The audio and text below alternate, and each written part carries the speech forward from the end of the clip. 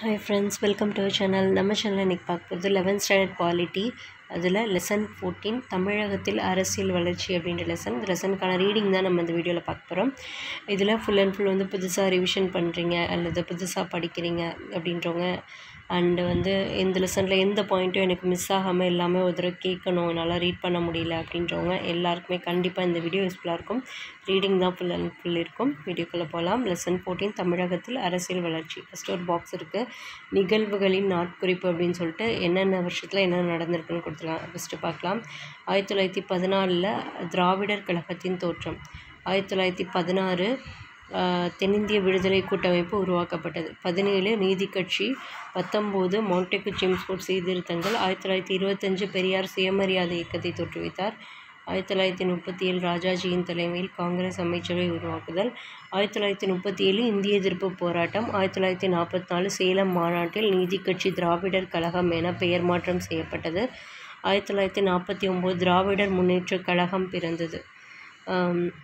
ஆயிரத்தி தொள்ளாயிரத்தி நாற்பத்தி ஆறு சென்னை மாகாணத்தில் கா. பிரகாசம் தலைமையிலான காங்கிரஸ் அரசாங்கம் அமைத்தது. ஆயிரத்தி தொள்ளாயிரத்தி நாற்பத்தி ஏழு ஓபி ராமசாமி முதலமைச்சரானார். ஆயிரத்தி தொள்ளாயிரத்தி நாற்பத்தி ஒம்பது பி. குமாரசாமி ராஜா தலைமையில் அமைச்சரவை அமைத்தது. ஆயிரத்தி தொள்ளாயிரத்தி ஐம்பத்தி ரெண்டு முதல் பொது தேர்தல் நடைபெற்றது. ஆயிரத்தி தொள்ளாயிரத்தி ஐம்பத்தி ஆறு மாநில மறுசீரமைப்பு சட்டம். ஆயிரத்தி தொள்ளாயிரத்தி அறுபத்தஞ்சு இந்து எதிர்ப்பு இந்திய எதிர்ப்பு போராட்டம். ஆயிரத்தி தொள்ளாயிரத்தி அறுபத்தி ஏழு சிஎன் அண்ணாதுரை தலைமையின் கீழ் திமுக அரசாங்கம் அமைக்கப்பட்டது. ஆயிரத்தி தொள்ளாயிரத்தி அறுபத்தொம்போது சிஎன் அண்ணாதுரை காலமானார். ஆயிரத்தி தொள்ளாயிரத்தி அறுபத்தொம்போது மு. கருணாநிதி மாநிலத்தின் முதலமைச்சரானார். ஆயிரத்தி தொள்ளாயிரத்தி எழுபத்தி ரெண்டு அஇஅதிமுக எம்ஜிஆரால் எம்ஜி ராமச்சந்திரனால் எம்ஜிஆர் நிறுவப்பட்டது. நெக்ஸ்ட்டு ஆயிரத்தி தொள்ளாயிரத்தி எழுபத்தி நாலு மாநில தன்னாட்சி தீர்மானம் சட்டப்பேரவையில் நிறைவேற்றப்பட்டது.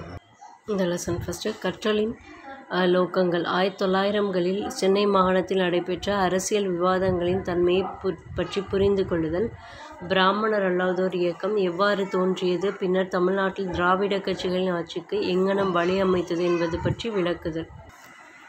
மாநிலத்தில் பல்வேறு அரசியல் கட்சிகளின் ஆட்சியின் பொழுது மத்திய மாநில உறவுகளின் தன்மை பற்றி விரிவாக விளக்குதல். திராவிட கட்சிகளின் மக்கள் நலக் கொள்கை அவற்றின் முக்கியத்துவம் பொதுமக்கள் மீதான அதன் தாக்கங்களை பற்றிய அறிவை பெறுதல். நெக்ஸ்ட்டு ஏதேனும் மாநிலங்களின் அரசியல் விருப்பமானது அரஸ் தேசிய அரசியலின் மீது தாக்கத்தை ஏற்படுத்தி உள்ளதா என்பதை கண்டறிதல் ஆய்வு செய்தல். நெக்ஸ்ட்டு இந்த படிப்பின் முதன்மையான நோக்கமானது. மாநிலத்தில் தொடர்ந்து வந்த அரசாங்கங்களின் சமூக நல கொள்கைகளின் அனைத்து பரிணாமங்களையும் அறிந்து கொள்வது. நெக்ஸ்ட்டு மாநிலத்தில் திராவிட அரசியலில் ஏற்பட்ட பல்வேறு பிளவுகள் மற்றும் அதன் விளைவுகளை கண்டறிதல். நெக்ஸ்ட்டு தமிழக அரசியல் வரலாறு. இந்தியாவின் பிற பகுதிகளுடன் ஒப்பிடும்போது தமிழ்நாடானது ஆரோக்கியமான நிர்வாக மற்றும் அரசியல் பண்பாடாகும். கிட்டத்தட்ட நிலையான பொருளாதார வாழ்வு மற்றும் மிக தொன்மையான காலத்தில் இருந்து தற்காலம் வரை தொடர்ச்சியான மரபுகளையும் கொண்டதாகும். தென்னிந்தியாவின் சென்னை மாகாணம் என்பது த மெட்ராஸ் பிரசிடென்சி சென்னை மாகாணம் கிபி பொது ஆண்டு எட் ஆயிரத்தி எட்நூற்றி ஒன்றில் உருவாக்கப்பட்டது. இந்த மாகாணமானது பதினெட்டு மற்றும் பத்தொன்பதாம் நூற்றாண்டுகளில் தற்பொழுதுள்ள மாநிலங்களான ஆந்திரா கேரளாவின் மலபார் பகுதி தெற்கு கர்நாடகா ஒடிசாவின் வடபகுதி முழுவதும் மற்றும் லட்சத்தீவு ஒன்றிய பிரதேசம் ஆகியவை உள்ளடக்கிய பகுதிகளாகும். நெக்ஸ்ட் இருபதாம் நூற்றாண்டின் ஆரம்ப காலத்தில் சென்னை மாகாணத்தின் அரசியலானது பிராமணர் பிராமணர் அல்லாதோரின் மோதல் தொடர்பான ஆதிக்கம் கொண்டதாக இருந்தது. அறிஞர்களும் அரசியல் சிந்தனையாளர்களும் இந்த பிராமணர் பிராமணர் அல்லாதோர் என்ற இரு பிரிவினரிடையே உள்ள மோதல்கள் பற்றி புரிந்து கொள்வது என்பதுதான் தென்னிந்தியாவின் அரசியல் மற்றும் சமூக வாழ்வை புரிந்து கொள்வதற்கு அவசியமானது என்று நம்பினார்கள். நெக்ஸ்ட் சென்னை மாகாணம். அதே நேரத்தில் சில பிராமணர் அல்லாத சாதி குழுக்களின் உறுப்பினர்கள் தொழில்துறை வாணிபம் நிறுவனங்களில் வேலை வாய்ப்பினை கோரினர். கணிசமான அளவிற்கு பிராமணர் அல்லாத சாதி பிரிவினர்கள் கிராமப்புறங்களில் இருந்து மாகாணத்தின் நகர்ப்புறத்திற்கு புலம்பெயர்ந்தனர். அவர்கள் தங்களின் அடையாளத்தை உறுதி செய்ய விரும்பினார்கள் மற்றும் படிப்படியாக சமூகத்தில் அரசியலில் நிர்வாகத்தில் பிராமணர்கள் அனுபவித்த ஏகபோக அதிகாரம் மற்றும் தனி உரிமை சலுகைகளை சவாலாக நின்று எதிர்த்தனர். நெக்ஸ்ட் திராவிடன் என்ற வார்த்தை அறிஞர்கள் மற்றும் தமிழர் தமிழர் அல்லாதோர் ஆரியல் ஆரியர் அல்லாத தமிழ் பேச பேசுவோரை அடையாளம் கண்டுகொள்ள பயன்படுத்தப்பட்டது. அதே நேரத்தில் பிராமணர்கள் ஆரியர்கள் எனவும் வடமொழி நாகரிகத்தின் பாதுகாவலர் எனவும் அடைய அடையாளப்படுத்தப்பட்டனர். மற்றும் பிராமணர் அல்லாதோர் திராவிடர்கள் எனவும் அவர்கள் தமிழ் மொழி பண்பாடு மற்றும் நாகரிகத்தின் பாதுகாவலர் எனவும் கருதப்பட்டனர். நெக்ஸ்ட் திராவிட இயக்கத்தின் தோற்றம். சென்னை மாகாணத்தில் பிராமணர் அல்லாதோரின் தமிழ் அடையாளம் சமூக அரசியல் மற்றும் பொருளாதார நலன்களை பாதுகாப்பிற்காக ஒரு பிராமணர் அல்லாத குழுவால் துவங்கப்பட்டதே திராவிட இயக்கமாகும். திராவிடர்கள் மற்றும் பிராமணர் அல்லாதோர். ஆயிரத்தி எட்நூற்றி ஒன்றாம் ஆண்டு பன்மொழி கொண்ட சென்னை மாகாணமானது தமிழ் தெலுங்கு மலையாளம் கன்னடம் மற்றும் துளு காலனிய ஆட்சியால் உருவாக்கப்பட்டது. இந்தியாவினுடைய பன்மைத்தன்மையை சென்னை மாகாணத்தின் அரசியல் வளர்ச்சியில் காண முடிகிறது. வங்காளத்திலும் வட இந்தியாவிலும் பிற பகுதியிலும் சமஸ்கிருதம் மற்றும் வேதங்களை மையப்படுத்திய இந்திய பண்பாடு முன்னெடுக்கப்பட்டது. இவற்றோடு இந்தியோ இந்தோ ஆரிய அல்லது இந்தோ ஜெர்மன் மொழி குடும்பம் குடும்பம் அங்கீகரிக்கப்பட்டது. வேதம் அல்லாத சமஸ்கிருதம் அல்லாத பண்பாடு அங்கீகரிக்கப்படவில்லை.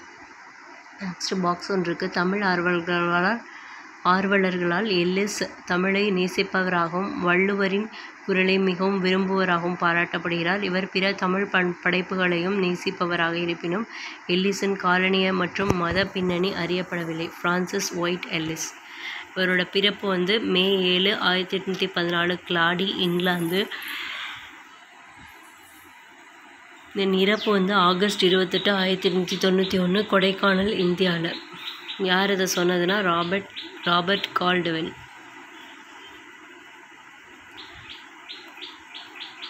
ஆயிரத்தி எட்நூற்றி முப்பத்தி ஏழாம் ஆண்டு ஜேம்ஸ் பிரின்ஸ்பே மற்றும் இதர ஆய்வாளர்களால் பிராமண மூல ஆவணங்கள் மற்றும் தென்னிந்திய மொழிகளின் மீதான ஆய்வுகள் எல்லிஸ் ஆயிரத்தி எட்நூற்றி பதினாறில் கால்டுவெல் ஆயிரத்தி எட்நூற்றி ஐம்பத்தி ஆறு போன்றவைகள் இந்திய கலாச்சாரம் என்பது ஒரே மாதிரியான தன்மையை கொண்டது அல்ல என்றும் புத்த திராவிட மரபுகள் கூட இந்தியாவில் இருந்தன என்பது நிரூபிக்கப்பட்டது. தென்னிந்தியாவில் குறிப்பாக பன்மொழி கொண்ட சென்னை மாகாணத்தில் பிராமணர் அல்லாதோர் இடத்தில் திராவிட மொழி குழு குழுக்கள் மற்றும் திராவிட பண்பாட்டு தொன்மை ஆகியவை திராவிட அடையாள எழுச்சிக்கு இட்டுச் சென்றது. நெக்ஸ்ட்டு பிராமணர்கள் பிராமணர் அல்லாதோர் மீது தங்களது மேன்மையை கோருவது மற்றும் பிராமணர்கள் கல்வி மற்றும் வேலை வாய்ப்புகளை ஏகபோகமாக்கியது ஆகிய இரண்டு திராவிட அடையாளத்தை பிராமணர் அல்லாதோர் அடையாளமாக மாற்றியமைத்தது. மகாராஷ்டிராவில் கூட மகாத்மா தோஜ் ஜோதிபா புலே இதே போன்ற ஓர் பிராமணர் அல்லாதோர் இயக்கத்தை துவக்கினார். இவ்வாறு திராவிடன் என்பது தென்னிந்தியாவில் பிராமணர் அல்லாதோர் என்பதை குறிப்பதாயிற்று. நெக்ஸ்ட் சென்னை மாகாண பிராமணர் அல்லாதோரின் பிரச்சனையை புதியதாக தேசிய தலைவர்கள் கவனத்தில் கொள்ளவில்லை என்பதாக குறைபாடு இருந்தது. ஆயிரத்தி எண்ணூற்றி ஐம்பத்தி ரெண்டாம் ஆண்டு கஜுலு லட்சுமி செட்டி என்பவர் இதனை வெளிப்படுத்தி ஆங்கிலேய இந்திய கழகத்திலிருந்து வெளியேறி சென்னை வாழ் மக்கள் சங்கம் என்ற பெயரில் ஓர் அமைப்பை தொடங்கினார். சிப்பாய் கழகத்திற்கு பிந்தைய காலங்களில் பிராமணர் அல்லாத தலைவர்கள் அரசியல் சீர்திருத்தங்களை காட்டிலும் சமூக சீர்திருத்தத்தின் மீது கவனம் செலுத்தினர். ஆயிரத்தி தொள்ளாயிரத்தி ஒன்பதாம் ஆண்டு மின்டோ மார்லி சீர்திருத்தம் அறிமுகப்படுத்தப்பட்ட பிறகு சென்னை மாகாணத்தைச் சார்ந்த பிராமணர் அல்லாதோருக்கு கல்வி மற்றும் வேலைவாய்ப்பில் போதிய பிரதிநிதித்துவம் இல்லை என்று எதிர்ப்பு காட்டத் துவங்கினர். ஆயிரத்தி தொள்ளாயிரத்தி பதிமூணாம் ஆண்டு ஆளுநரின் செயற்குழு உறுப்பினர் Thiru. Sir. Alexander Jordan Cardew என்பவர் அளித்த புள்ளியியல் விவரமானது மக்கள் தொகையில் மூன்று சதவீதம் மற்றும் அங்கம் வகிக்கும் பிராமணர்கள் அனைத்து வாய்ப்புகளையும் எடுத்துக்கொண்டார்கள் என்பதை நிரூபித்தனர் நெக்ஸ்ட் நீதி கட்சி அக்காலத்தில் இருந்த முதன்மையான அரசியல் கட்சியான இந்திய தேசிய காங்கிரஸ் ஆனது பிராமணர்களின் ஆதிக்கத்தில் இருந்தது. எனவே பிராமணர் அல்லாத உறுப்பினர்களின் கோரிக்கைகளை அவர்கள் கருத்தில் கொள்ளவில்லை. எனவே சென்னை மாகாணத்தில் உள்ள பிராமணர் அல்லாத தலைவர்கள் பிராமணர் அல்லாதோர் அரசியல் அமைப்பு ஒன்றினை துவங்க நினைத்தனர். முதலாவது உலகப் போருக்கு பிறகு ஏற்பட்ட அரசியல் சீர்திருத்தங்கள் மற்றும் நிறுவனங்களில் பிரதிநிதியாகும் வாய்ப்பு போன்றவை இவர்களின் செயல்பாடுகளை ஊக்குவித்தன. ஆயிரத்தி தொள்ளாயிரத்தி பதினாறாம் ஆண்டு doctor T M Nair sir P T Thyagarayar மற்றும் டாக்டர் சி நடேசனார் போன்றோர்கள் பிராமணர் அல்லாதோரின் சமூக அரசியல் மற்றும் பொருளாதார நலன்களை முன்னேற்றுவதற்காக தென்னிந்திய விடுதலை கூட்டமைப்பை நிறுவினர். இவ்வாறு உருவான பின்னர் தென்னிந்திய விடுதலை கூட்டமைப்பு எஸ்ஐஎல்எஃப் புகழ்பெற்ற நீதி கட்சியானது.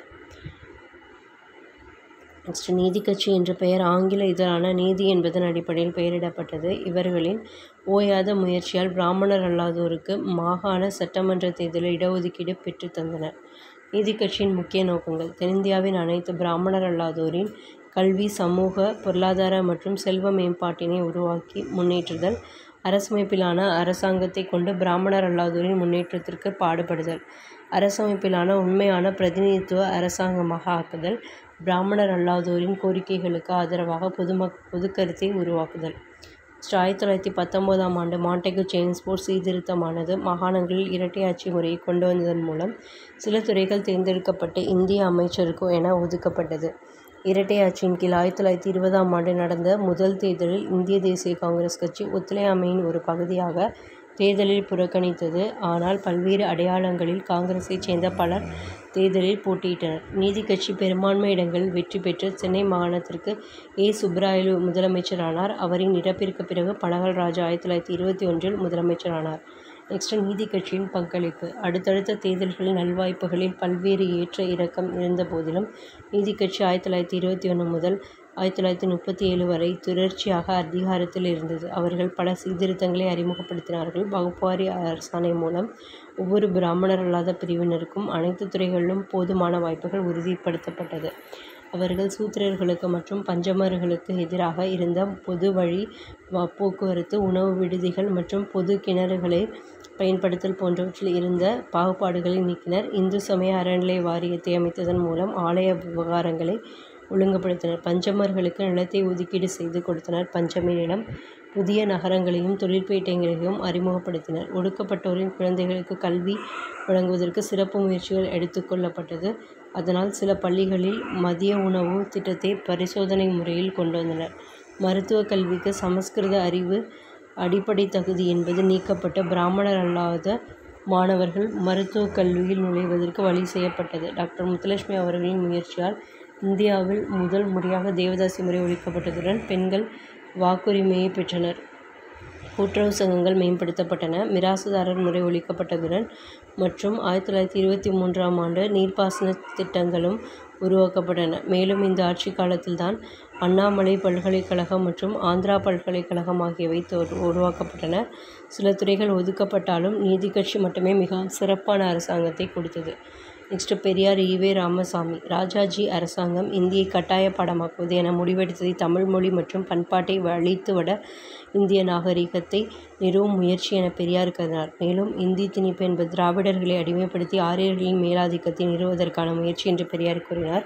சென்னை மாகாணத்தில் மாபெரும் இந்திய எதிர்ப்பு போராட்டம் நடைபெற்றதன் விளைவாக மாகாண அரசாங்கத்தால் பெரியார் சிறையில் அடைக்கப்பட்டார். பதினைந்து ஆண்டுகளில் இருபத்தி மூன்று முறை சிறை சென்றார் என்பதனால் சிறைப்பறவை என்று அடைமொழியிட்டு அழைக்கப்பட்டார். ஆயிரத்தி தொள்ளாயிரத்தி முப்பத்தி எட்டாம் ஆண்டு இந்திய எதிர்ப்பு போராட்டத்திற்காக சிறையில் அடைக்கப்பட்டிருந்த போது அவர் நீதி கட்சியின் தலைவராக தேர்ந்தெடுக்கப்பட்டார். அதே ஆண்டு நீதி கட்சியானது ஆங்கிலேய அரசாங்கத்தின் கீழ் தமிழ்நாடு தனிநாடாக வேண்டும் என்ற தீர்மானத்தை இயற்றியதுடன் இது ஆங்கிலேய அரசாங்கத்தின் இந்தியாவிற்கான அமைச்சருடைய நேரடி கட்டுப்பாட்டின் கீழ் இருக்க வேண்டும் என்றது.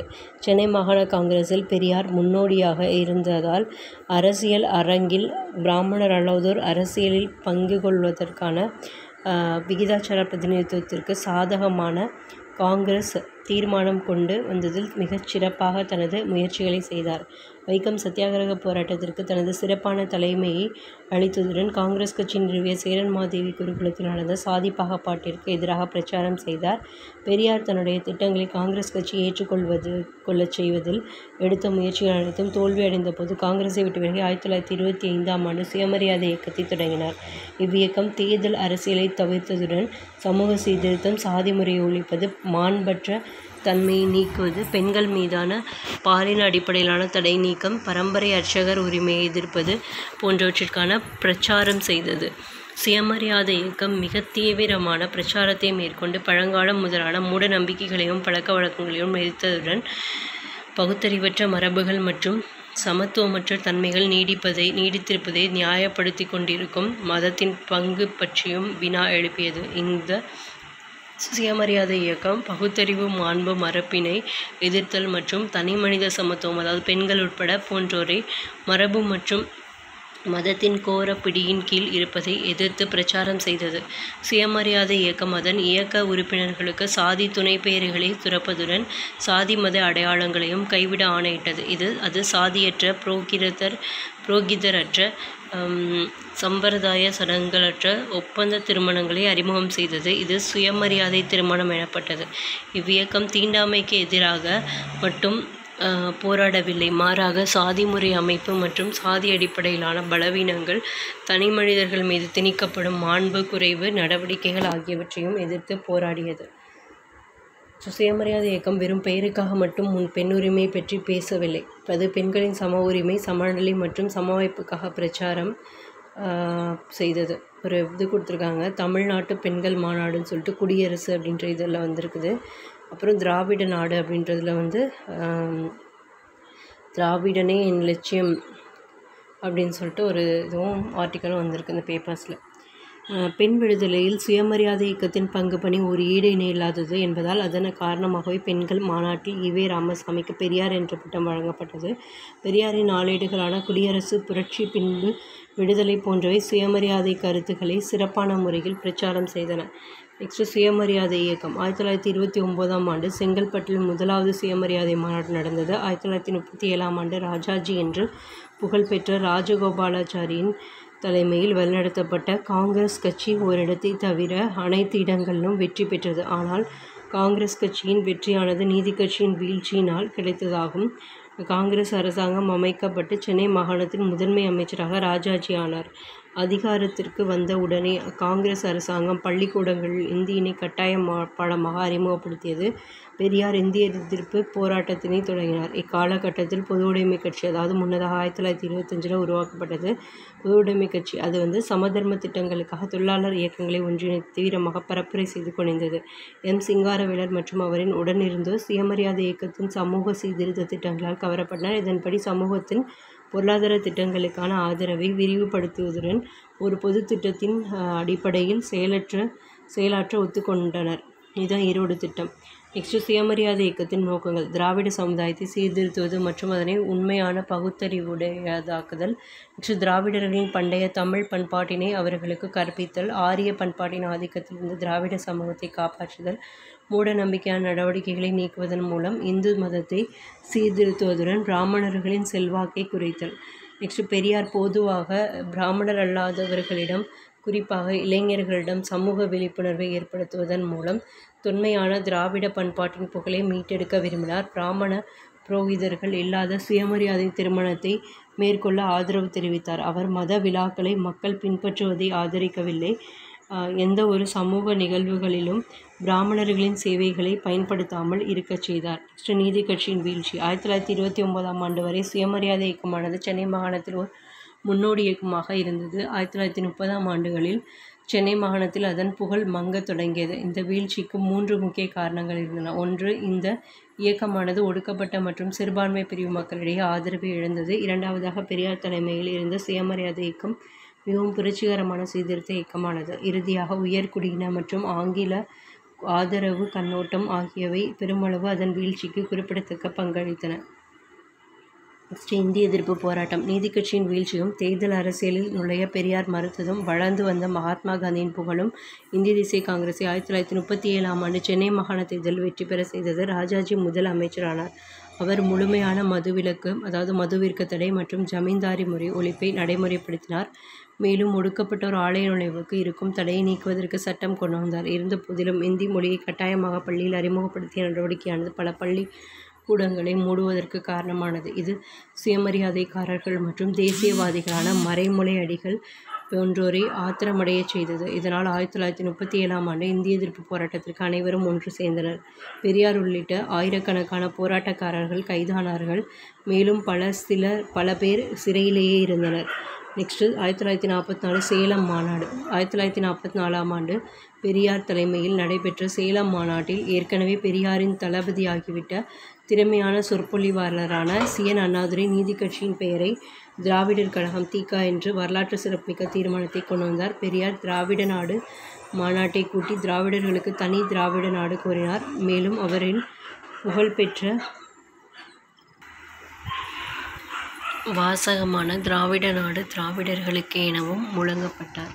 தனி திராவிட நாடு கோரிக்கையை தவிர திராவிடர் கழகமானது சாதியற்ற சமூகத்தை ஏற்படுத்துதல் மதச்சடங்குகளை கண்டு கண்டு கண்டித்தல் பழமை மற்றும் மூட நம்பிக்கைகளை அற்ற சமுதாயத்தை அமைத்தல் ஆகியவற்றை விரும்பியது. திராவிடர் கழகமானது கிராமம் மற்றும் நகர்ப்புறங்களில் குறிப்பாக மாணவர்களிடத்தில் மிகவும் புகழ் பெற்றது.